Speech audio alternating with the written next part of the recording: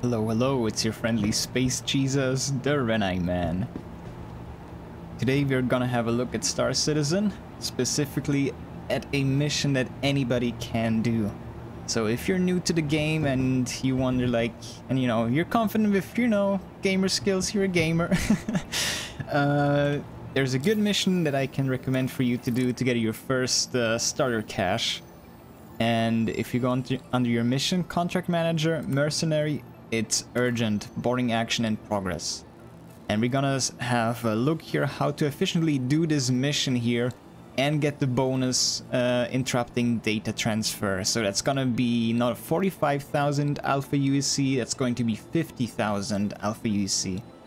And we're going to have a look how to efficiently efficiently do this and pretty much always guarantee almost the data link uh, interruption.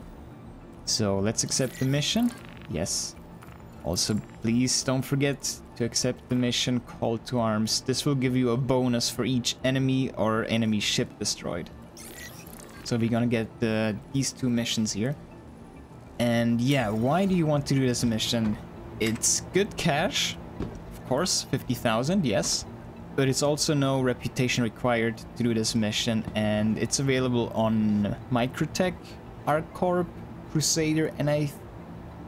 Hurston, and I'm not sure about Crusader, but Hurston as well. So yeah, it's pretty much available, like, you know, from any starting position and no reputation. That's why it's so good. A other good uh, reason it's it's a nice variety. So you know you will engage two um, you know other ships like space combat, and then you will you know continue through zero G into a ground mission of 20 enemy combatants. So it's, uh, you know, good, nice variety. Also another good reason is uh, you get to know um, the ships in Star Citizen. Like, we will be, you know, clearing out the 890 Jump, which is a huge ship, and, you know, you can get lost, but it's, uh, you know, trying to get to know the ships better is a good, uh, good skill to have. Uh, on the downside, there's no loot boxes in there, so like new loot in there is not that good. It's more like for the raw cash that you get from the mission. And you might die there, so don't take anything that you are not willing to lose. But, uh, you know, as you do these missions, you will get better and better, and, you know, you can pretty much use any weapon, but I suggest carrying uh, a pistol and having a med tool and a multi-tool with tractor beam in your inventory.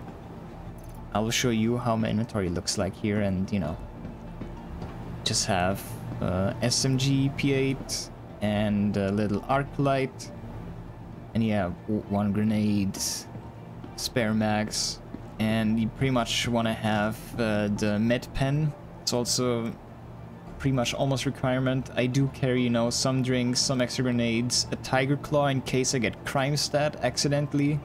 So, you know, this might be something you want to carry. And yeah, more med pens, refill for the med gun, and there is my multi-tool, and down there we have the med gun, just in case I need it. But yeah, uh, let's get going with the mission. I'm gonna spawn my ship and uh, fly there, and yeah,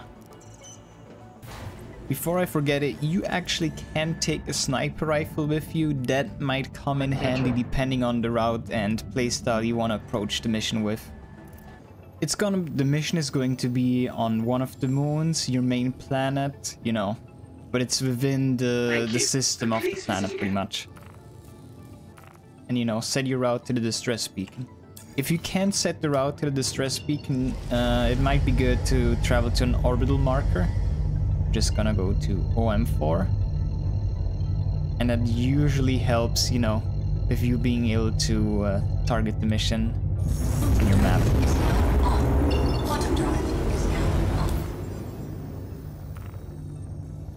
That's a little bonus tip for you there. So the stress beacon will be available then.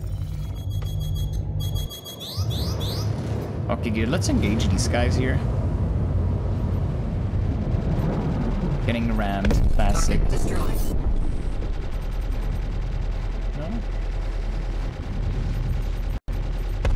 There we go. Okay, good. Okay, good. Once you killed uh, your two, uh, you know, space targets here, um, there will be a few things to note. Uh, once you board the 890 Jump, um, the people in white armor, those are security personnel, and we don't want to kill them, because that will result in CrimeStat, and you will have a bad day. You can bring along a sniper rifle and, you know, EVA out a bit without triggering the data timer, and you can take out the guys in the main hangar. And depending on how many people you are, there are a few different routes and strategies you can take. Um, we're going to focus on the efficient strategy to get the data link solo down on your own, always pretty much every time. But yeah, if you want to play it safe, you want to, you know, go to the lower deck, set your spawn point, and turn on the power, you know, for the lights so you actually see, uh, you know, a bit better. And if you are two people, one guy can take the top, one guy can take the, you know, bottom floor, and by the top floor I mean like not the atrium, but like the bar area, that kind of stuff. And if you have three people, we have one guy on the bottom, one guy take the atrium, and the other guy take the top. So yeah, uh, let's get going. And we will just focus on getting all the data link spawns checked so we can get our 5k bonus. Gonna aim at the top floor there so we get some light through there. Let's get out the pilot chair and get going. And yeah, it doesn't matter from which side you engage, just pretty much the main hatch is going to be our target here when we EVA out. Want to use the main ramp, you don't want to get stuck on ramps or killed by any, any doors. It's usually a bad way to go. Let's get our weapon out here. Okay, open the door and just straight go.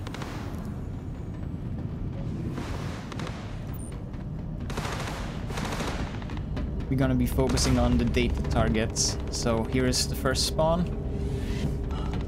Not here on the wall there would be it. Let's check the other floor here. Sure there's nobody here. There would be another spawn here. We're going to go to the elevator here in the back. Gonna take the right elevator, go to the top. Since we want to check most possible spawns. Go up. Yeah, there will be three spawns we're going to check here.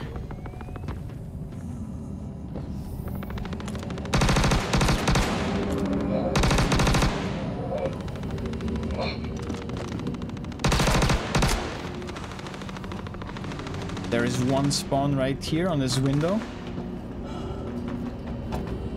There is two more spawns we're going to check here. We got 16 bullets and should be good. Actually gonna pop reload. Actually, open please. There is one more spawn.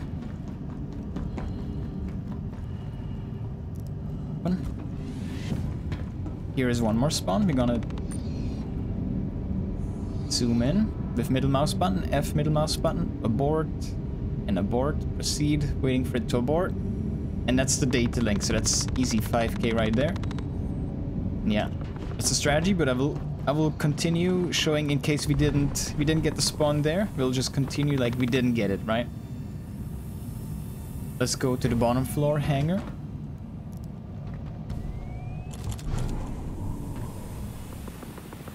There we will, uh, yeah, check pretty much all the spawns possible.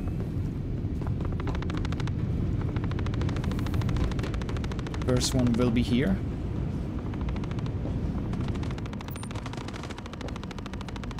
There is another spawn right there on the wall.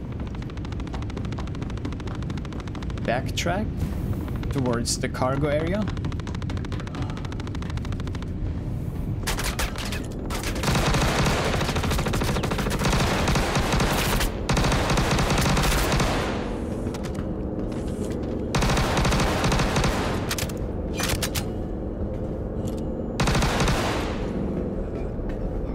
On the wall over there would be another spawn right there. You you don't need to engage these, so if you're on the timer, you would just check and go back.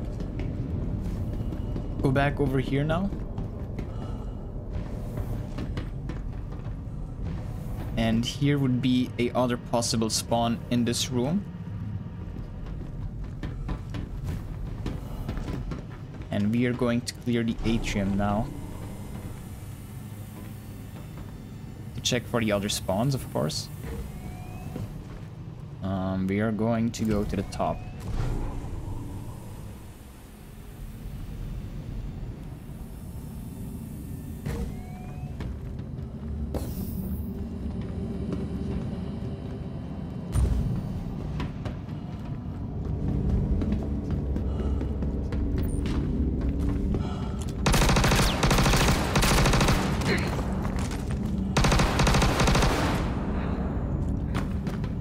Uh, yeah, let's just go in here. Pop a reload. Here would be a other spawn. I think this would be the last spawn, I'm pretty sure. There might be one on the opposite side, but not 100% sure.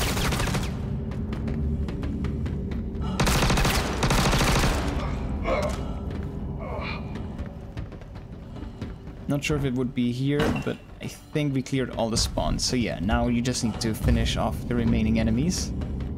And that will be a nice payout of 50,000 if you're solo.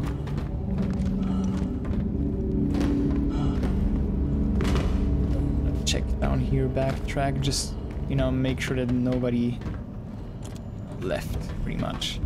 But I think the last five enemies should be on the bottom floor in the main hangar area.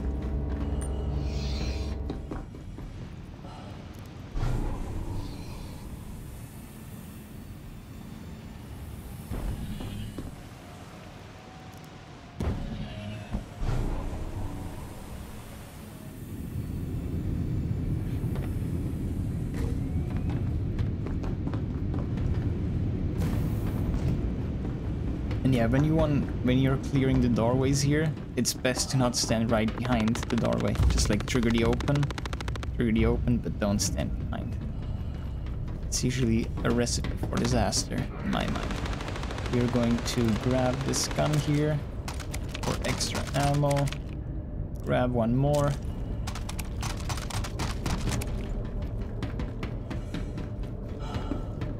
Take here cover because they're behind the door here.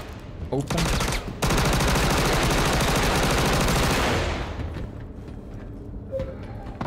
Open again. Check. Okay, good. Looks like there's still two more enemies. Oh shit, behind.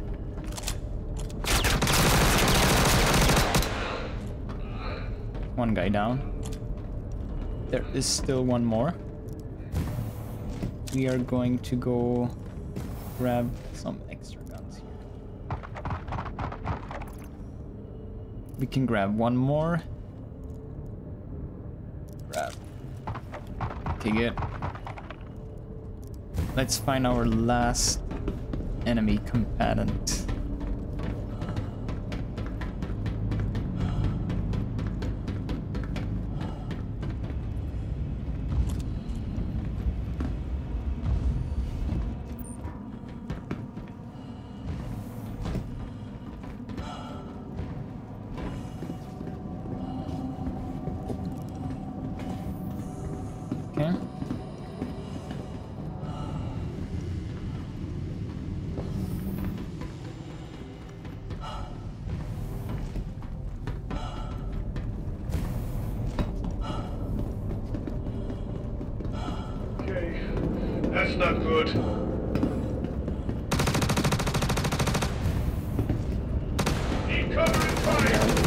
That's not good.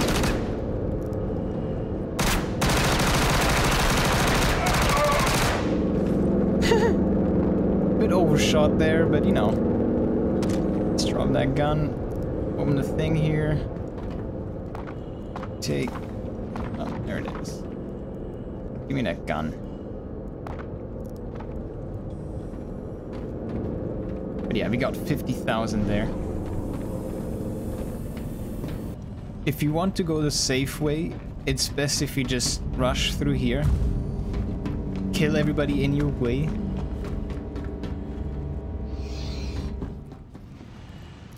Take this elevator here, the left one. Or the right one, doesn't really matter too much. go down.